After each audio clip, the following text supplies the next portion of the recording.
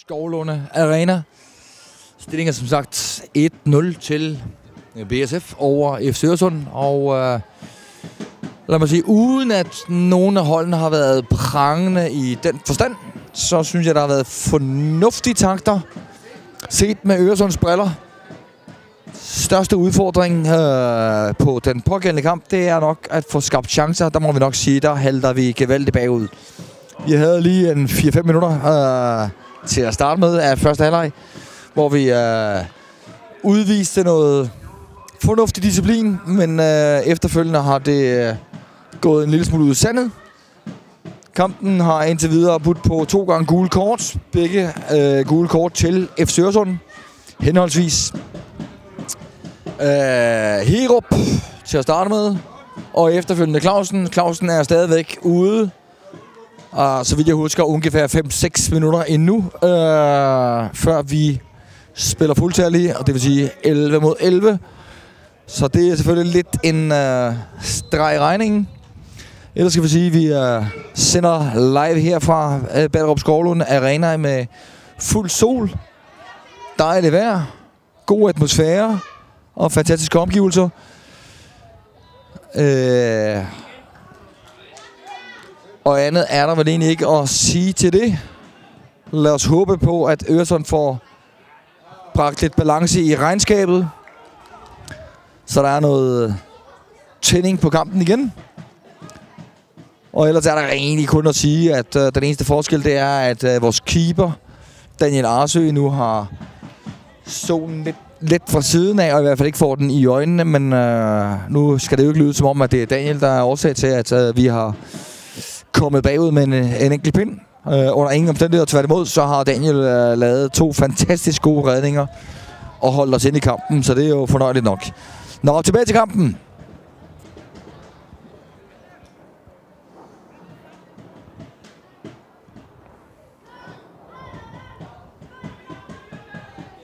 Indkast Øresund.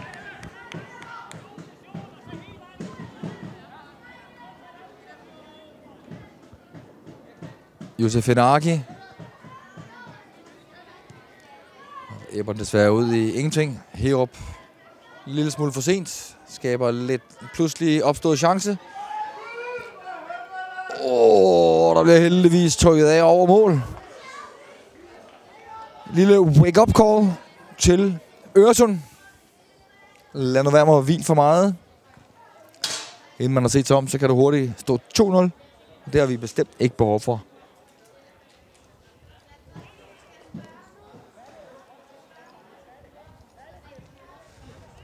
Udspark. Daniel. Carentius erober. Men mister desværre. Øh, til, pludselig tilslået. Og desværre allerede her i starten af anden halvleg bringer BSF sig foran 2-0. På, som jeg umiddelbart kan se det, en lille fejl fra Carentius, som så øh, bringer omstilling i spillet med det samme. Ja, ikke fordi, at øh, det er Mikkels skyld det her, men øh, ikke desto mindre. Spillet godt og vel et minuts tid eller to af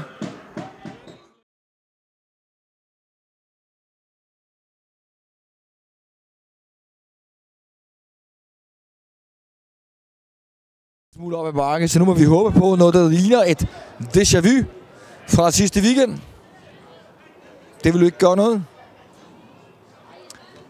Men nu er det i hvert fald op ad bakke, og man kan sige, at øh, nu er der ingen grund til, at vi ikke kan spille frit. Der er kun én ting, der tæller, og det er nogle kasser. Og det er at være frem i banen.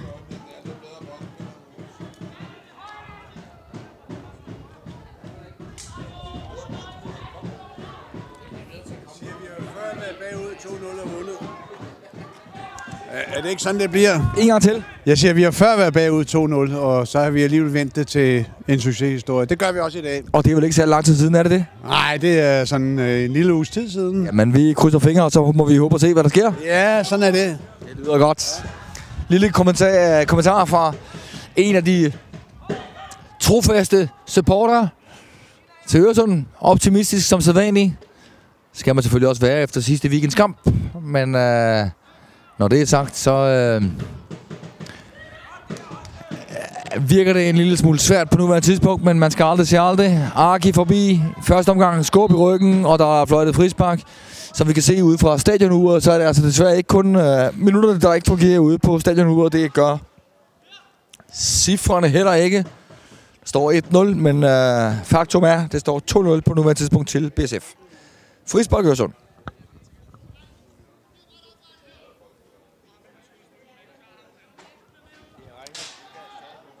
Caranthius Baglings.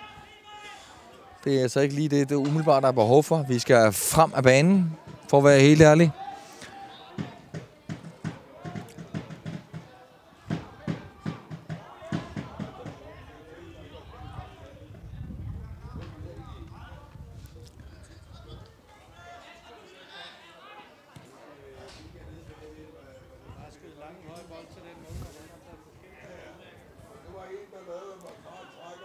Godt spiller Herup i første omgang. Ah, det er fornuftigt.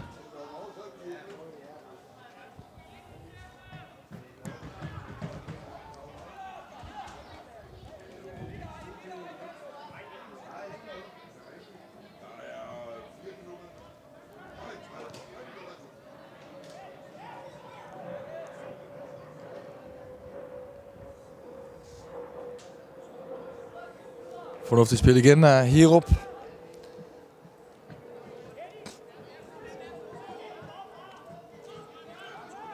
Der er ryg på Kopperup. Ja. De virker tændt til nu, BSF.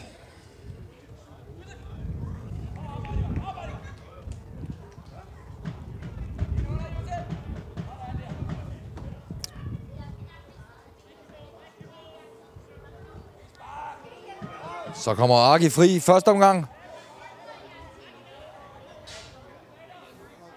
Han mangler stadigvæk lidt støtte. Sådan der. Og den bliver holdt indenfor, det er fint. Så man, ah.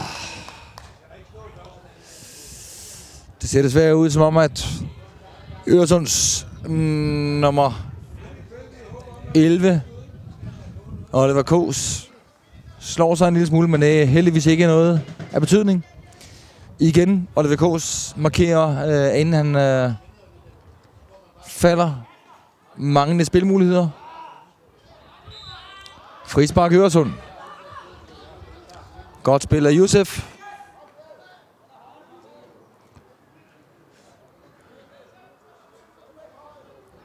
Arki gør klar til at lave indlæg, men øh, det ser ud som om, at han overlader bolden til Carentius.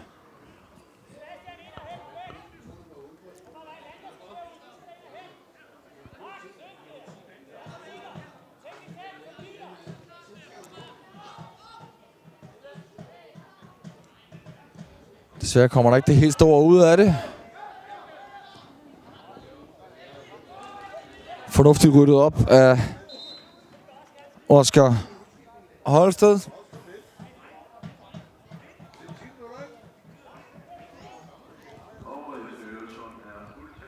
Og i samme moment er Øresund igen fuldtallig.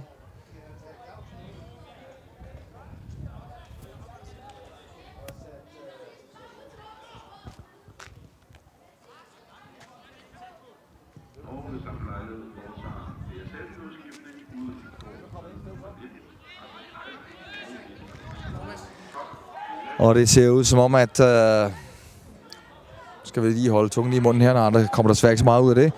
Det ser ud som om, at øh, i stedet for, at Clausen kommer ind igen, som fik det gule kort, så er øh, Smedgaard kommet ind.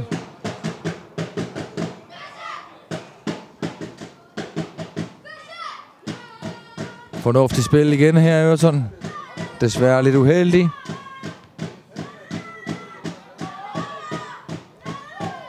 Ah, lille frispark. Det er ganske, ganske fint spil af højre.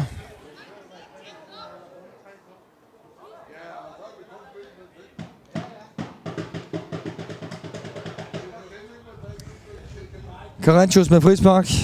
Skal vi så lige have nogle øh, mand op i boksen. Øh, jeg kan se Kopperup, han trækker også midt opad.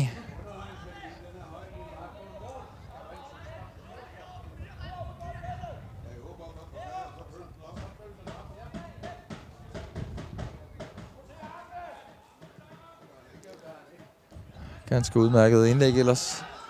Josef med bolden. Ja. Ej, det er altså den forkerte vej, det her. Det er... Det er desværre en fejldom, det her. Der er der ingen diskussion om, men, øh, men lad nu det være, hvad det er.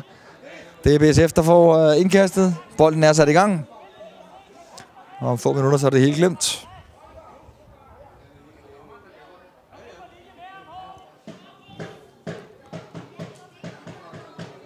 Fornuftig igen er Herup.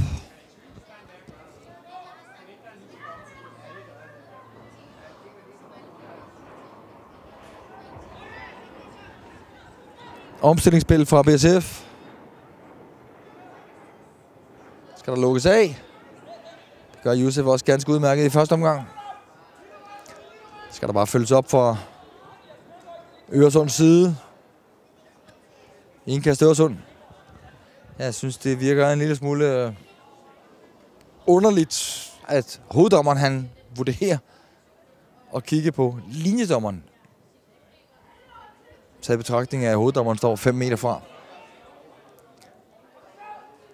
Mulighed. Åh, oh, desværre lidt for meget mulighed. Daniel Arsø er udplaceret, på trods af, at han går til den rigtige side. Stillingen er på nuværende tidspunkt 3-0 til BSF. Og øh, det virker meget op ad bakke, set med Øresunds briller på nuværende tidspunkt.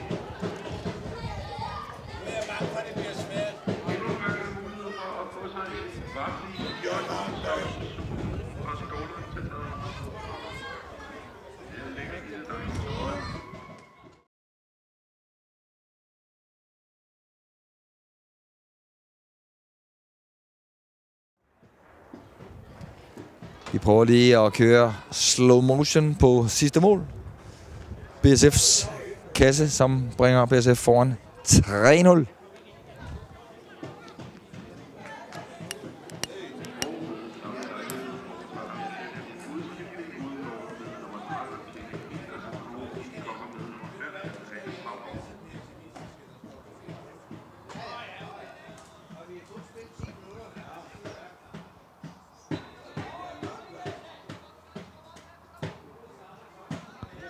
Så er vi klar igen.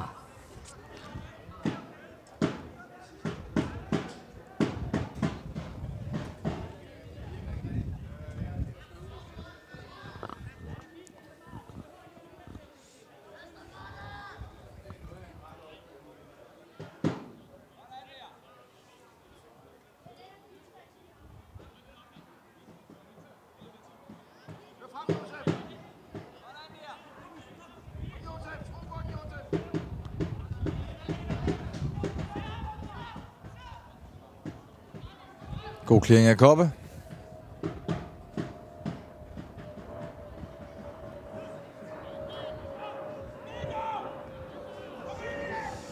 Der mangler altså også noget intensitet i den her kamp, må man sige. Det er at ville vinde bolden i de høje dueller. Og i øvrigt også i nærkampene.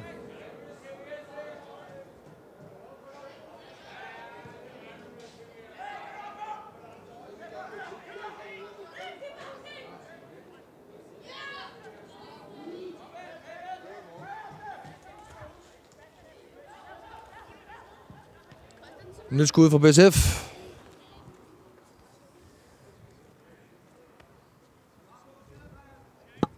Ser ud som om den sidder lige i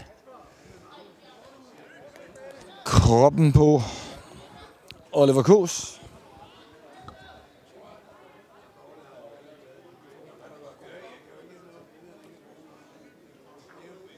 Han er klar igen. Det ser ud som om den sidder i panden rent faktisk.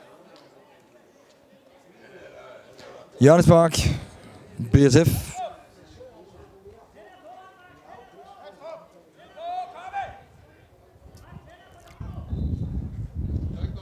kort hjørne.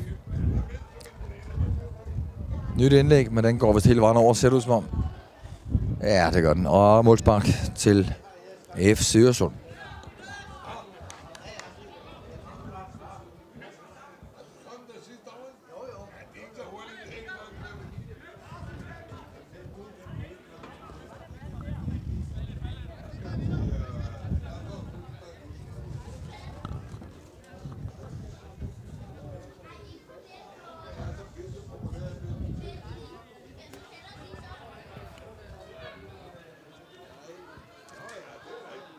Nuværende tidspunkt kan man sige, som kampen den lige har skrevet frem indtil videre, er der jo alene ikke noget at sige til, at Øresund er bagud. Det er egentlig fortjent nok.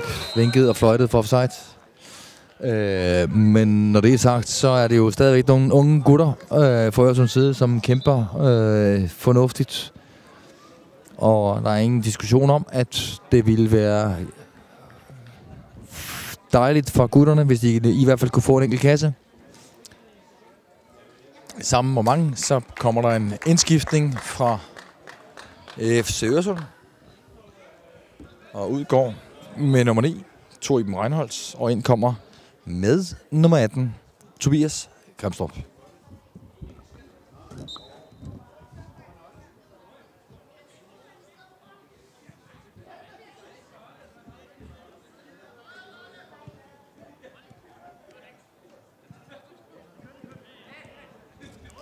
Indkast Øresund.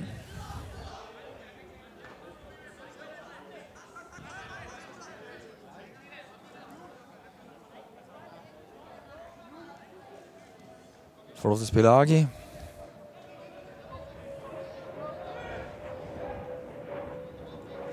Ud til Herup.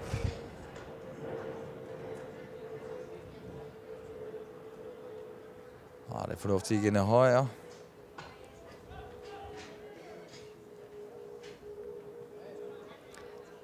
Inka Storsund.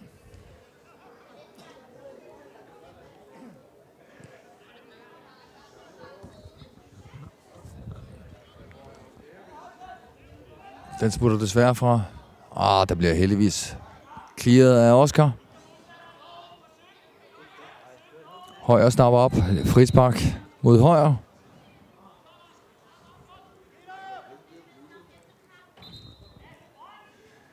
Ny indskiftning. Og igen fra BSF.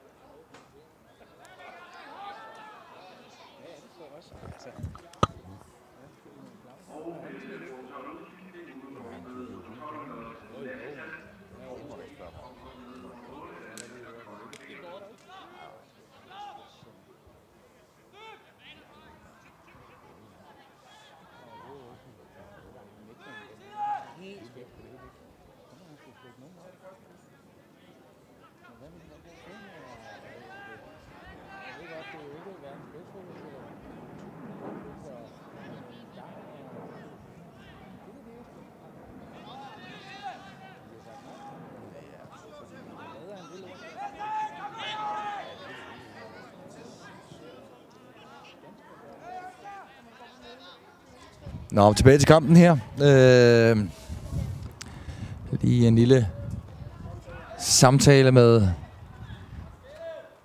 en af klubbens sponsorer.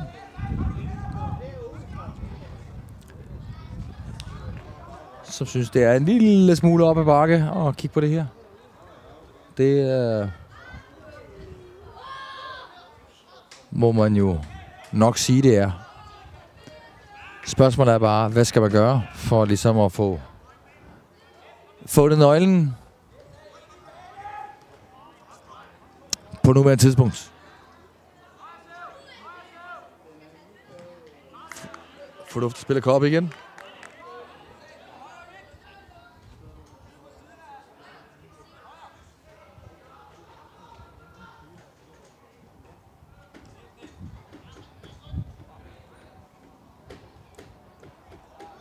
Spil igen, Arki.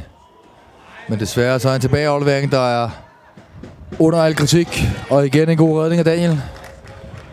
Frembringer hjørnespark. Trist, når Hage han laver gode, små, lækre detaljer. At det så skal ende op i en skudmulighed til BSF.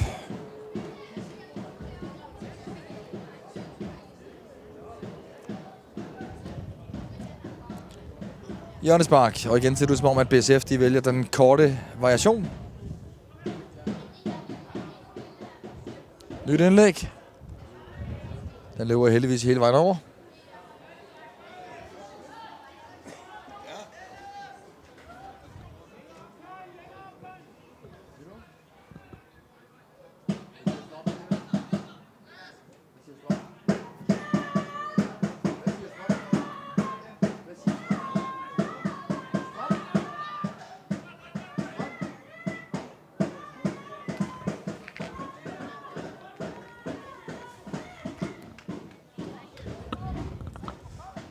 Tyve minutter spillet af anden halvleg. Stillinger som sagt 3-0 til BSF. Med Øresunds briller. En lille smule koldt vand i hovedet, må man godt sige. Så prangende har BSF bestemt ikke været. Men øh, om ikke andet er det vel fair nok, at de fører. Frispark BSF. Og egentlig også et rimelig farligt sted.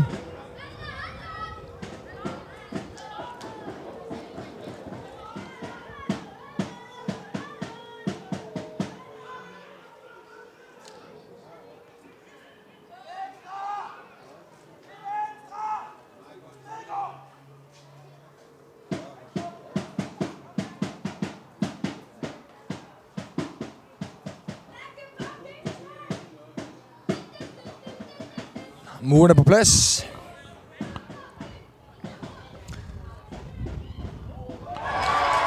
Muren hjalp desværre ikke. Flot frisparksmål af BSF. Stillingen er hermed en 4-0. Og man må nok sige, at øh, kollapset set fra Øresunds side begynder at ligne en realitet. Ærgerligt, ærgerligt, ærgerligt. Men om ikke andet, flot sparket.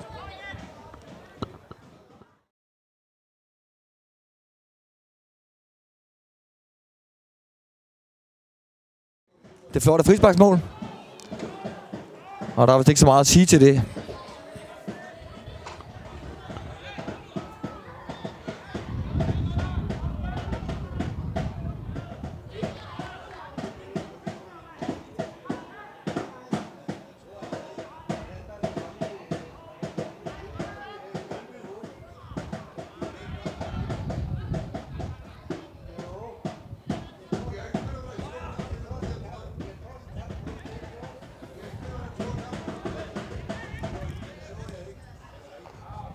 Offsides.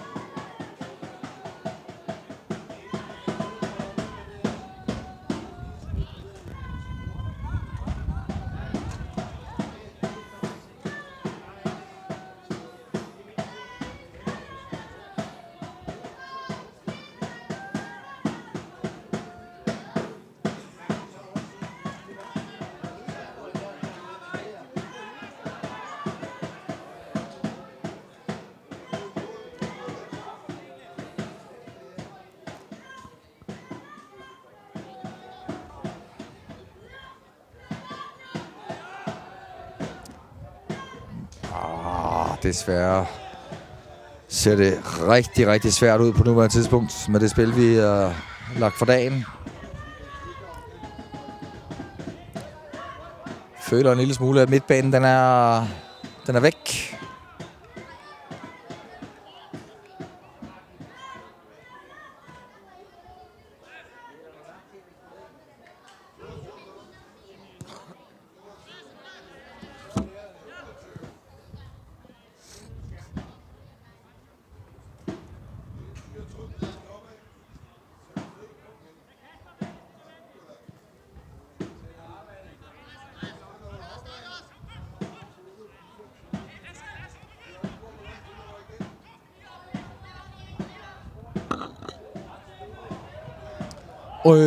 Frispark igen, det er Paul Kopperup.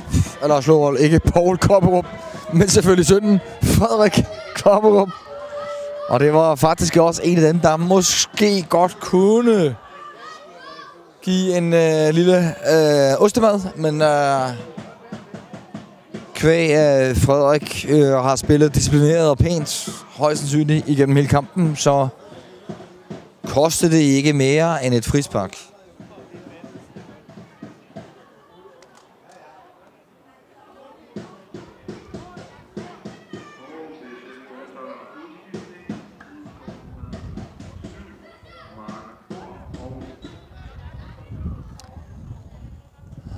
Igen skud direkte på kassen. Sidder så heldigvis uh, lige i øh, stængerne på Daniel.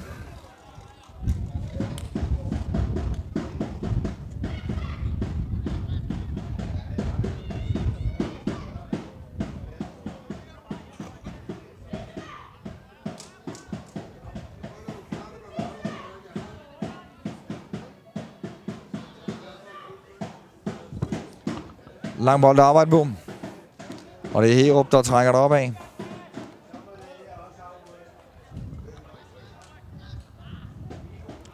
Clausen med en mulighed.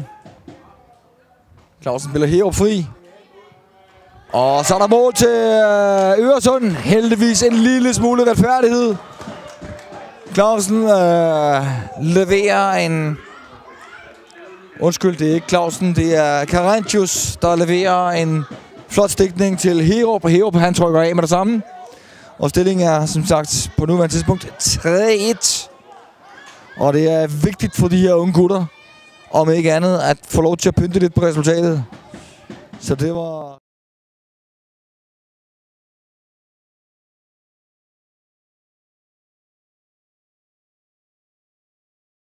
på det. Og der bliver trykket af.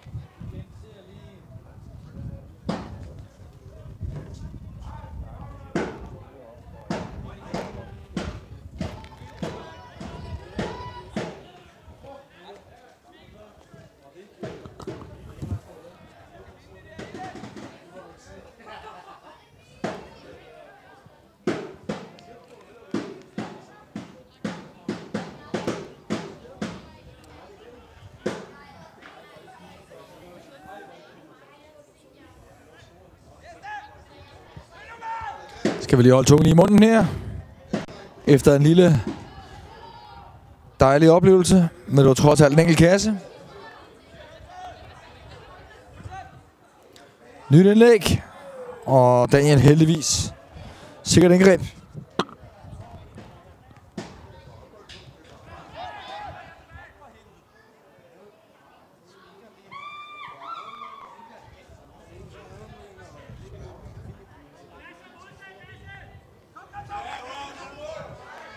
Oj, oj, oj! Lige ved siden af. Lige ved siden af. Jamen, jeg skal lige uh, komme ind i kampen igen her lige om lidt øh, øjeblik.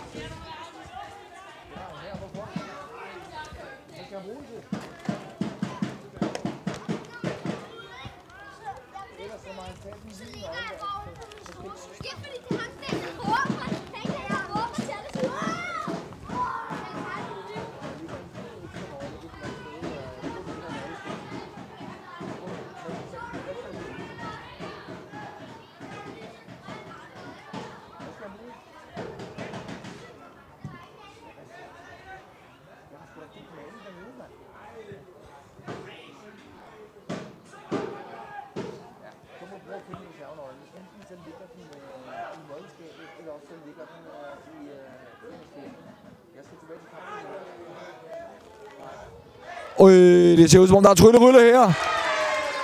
Det er desværre, jeg bliver desværre afbrudt en lille smule af noget sms-besked her, men øh, det er Ballerup øh, Skovlunde, som man nok må sige spiller Øresund tyndt i forsvaret.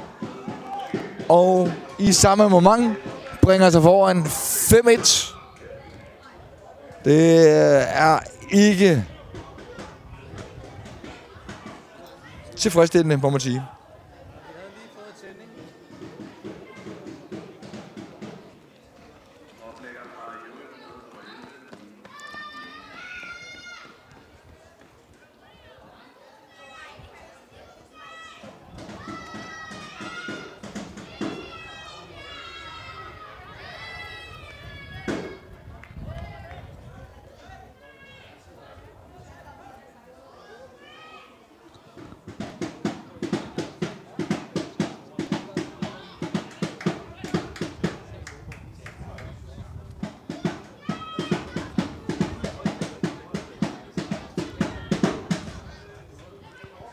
Lang bold op til Arki.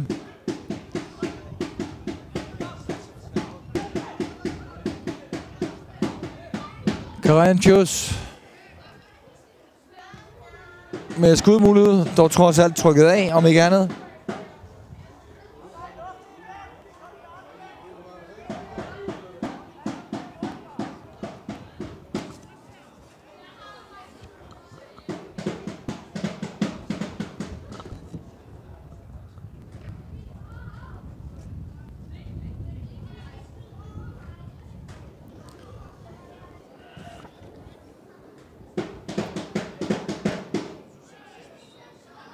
Frispark til BSF.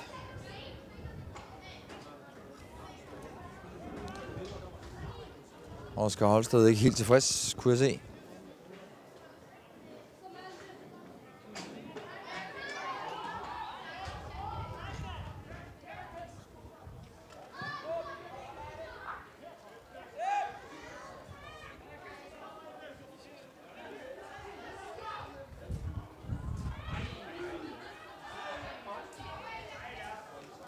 Ingenting. Højre mand. Fornuftig aflevering til Aki. Aki trækker en lille smule baglæns. Tvær aflevering. At finde Smidgaard.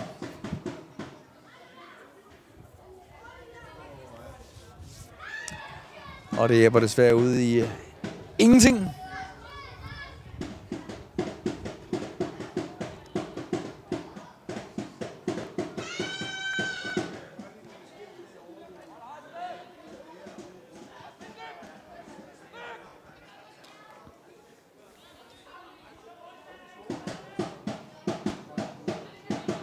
Arkimester.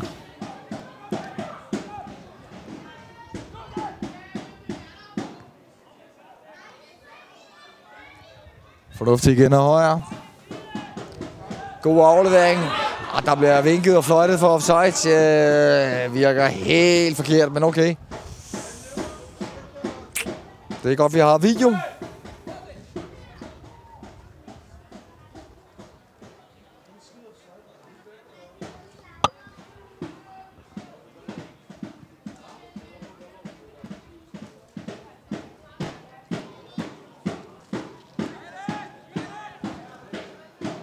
Skal lige holde skruen lige... Ah, heldigvis over.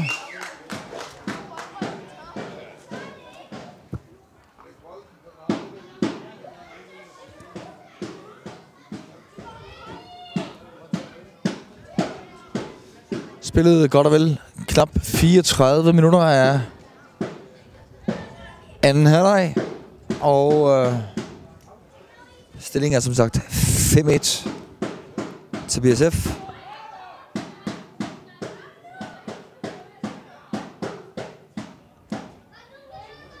På en kamp, hvor man nok må sige, at stillingen lyver nok en lille smule med henblik på, hvad det burde stå. Faktum er nu bare, at 5-1, det er stillingen.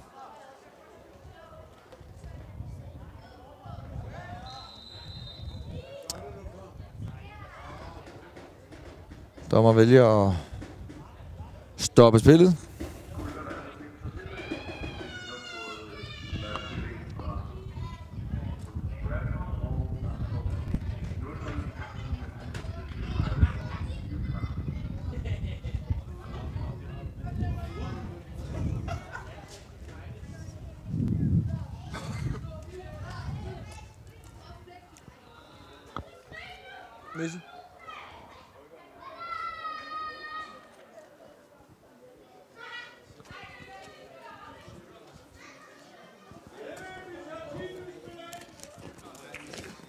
Spillet er sat i gang igen.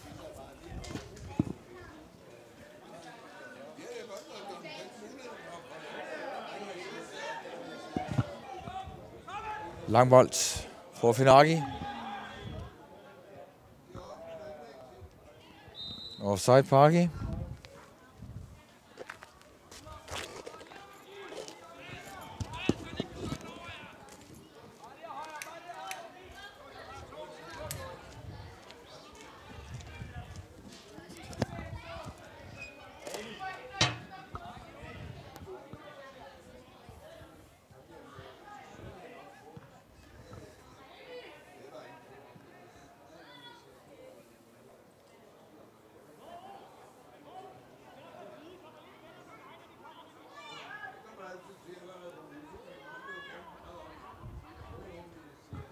Ser ud som om Clausen han trækker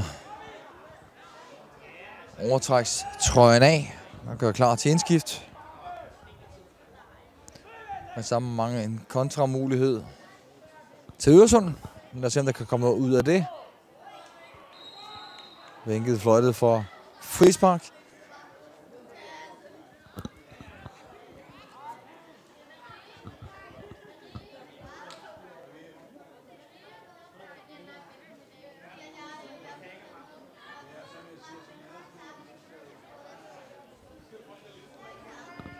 Mark, der lige får en lille henstilling fra dommer om at tage det lidt mere med ro.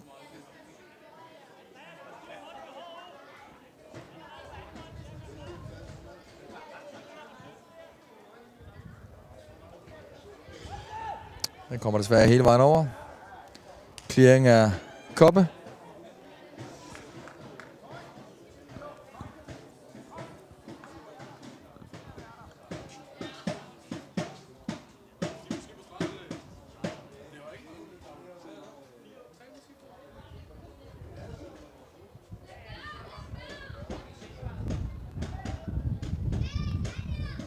Indlæg over mål.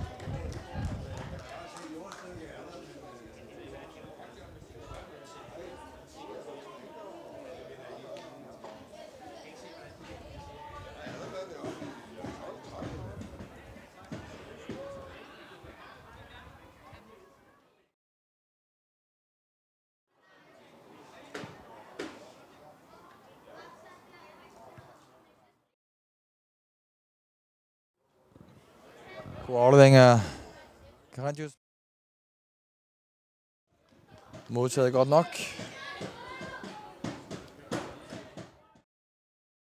er to forsøg fra Koppe. Gode detaljer. Så er vi vist nok ved at være på igen. Jeg tror, der var noget udfald. Men der er ikke sket det helt store.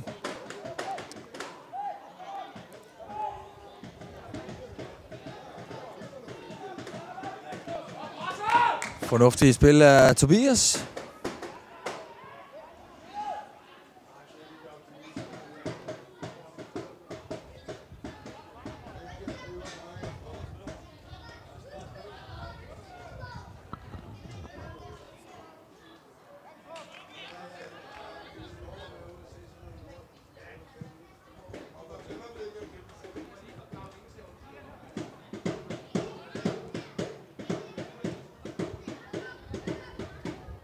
Pænt spil af Øresund.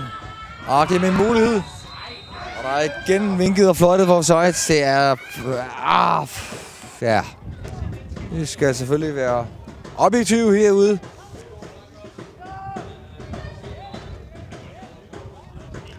Indskiftning og udskiftning. Og det ser ud som om det øh, er Øresund.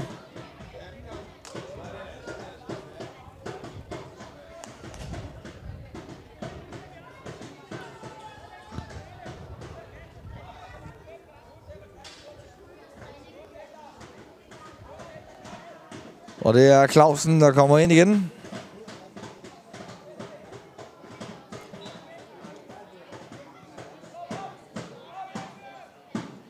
For at få måske sætte noget mere pres på her de sidste minutter af kampen.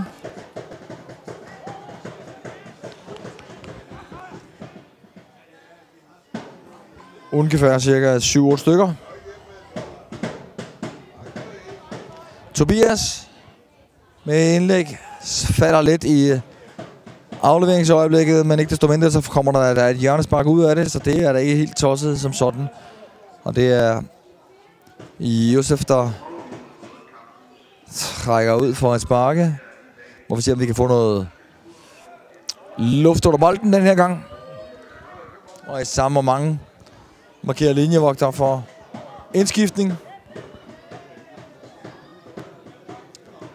Det vil dommeren så ikke have på nuværende tidspunkt. Jo, det giver han alligevel tilladelse.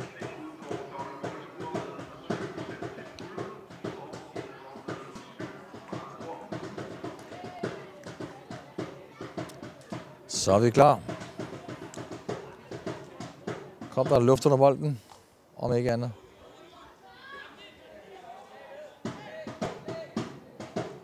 Nyt indlæg fra Agi. Og Agi trykker selv af også. Desværre uden for rammen.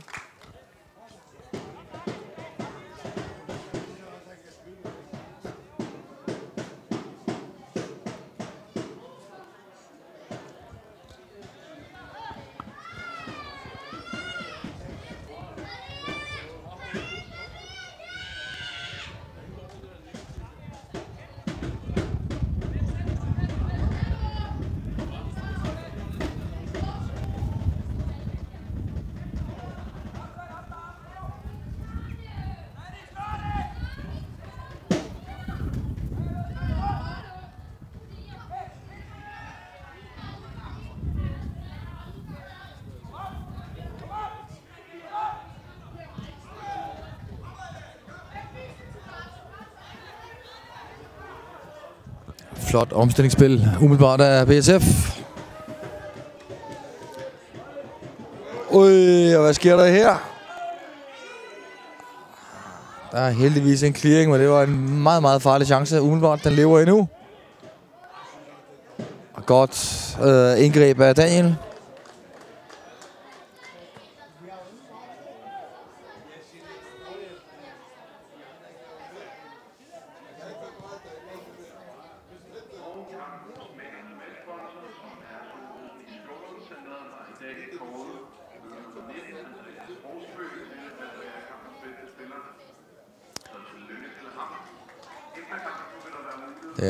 Det er blev sat. Herup får heldigvis ryddet af. Lang bold frem til Arki, som han dog desværre ikke når.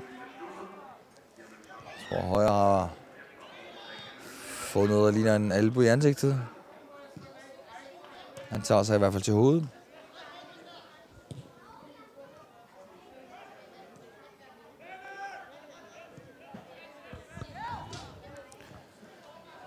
Ja, man må nok sige, at vi bliver spillet tynde lige i øjeblikket. De gør næsten lige, hvad der passer den. Højre med kontra. Clausen med en fejlpasning. Og så er vi tilbage igen i modangreb. Og øh, ingenting. Det kunne godt have fra den vinkel, jeg står, ser ud som om, der var noget, men, øh, men øh, ingenting. Og vi kører som sagt på sidste minut af kampen. Stillingen er som sagt 5-1 til Ballerup.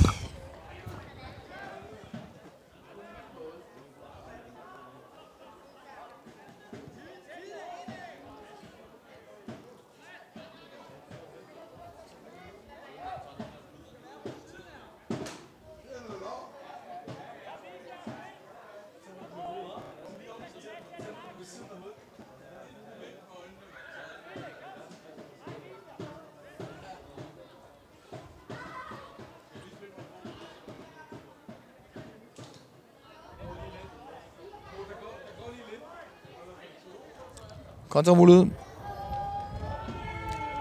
Og han smutter forbi øh, Daniel. Og i det sidste minut bringer han Ballerup Skovlunde foran 6-1. Øv, øv, øv. Noget af en losing, må man sige.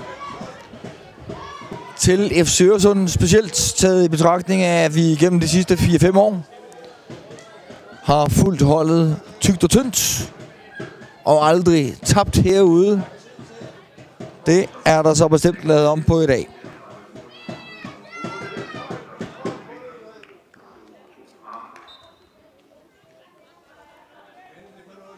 Kampen er igen sat i gang. Og heldigvis er der så også fløjtet af. Og det er Piraterne og FC Øresund TV, som siger tak for denne lørdag. Vi ses igen på næste lørdag, og det er på hjemmebane. Fortsat god weekend.